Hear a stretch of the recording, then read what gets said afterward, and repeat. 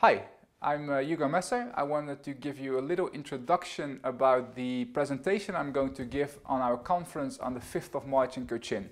So first of all, I'll share some of my experiences working with people from Kerala and I'll tell you a little bit about my entrepreneurial background, why I chose Co Kochi and why I love working with people from uh, Kerala.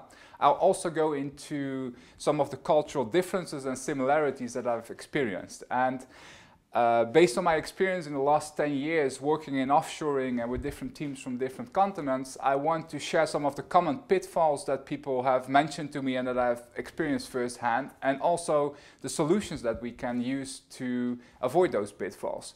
I'll tell you about my uh, method, which is actually consisting of a couple of elements. First of all, I'll help you go through the different processes that we have, like Agile, Scrum, Kanban, XP, and I have a process design game or instrument that I will share with you.